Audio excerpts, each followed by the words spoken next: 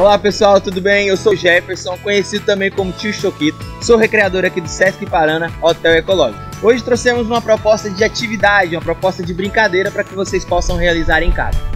É muito simples. Nós vamos precisar de papel, fita e balão espaguete. Para começar, nós vamos fazer bolas de papel.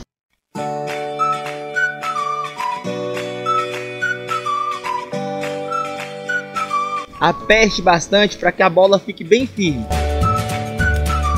Bola feita, vamos pegar os dois balões, amarrá-los na ponta. Com a fita, vamos prender o balão na bola.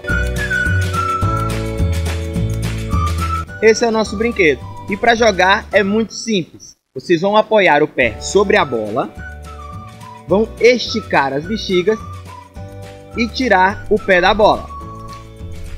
Simples.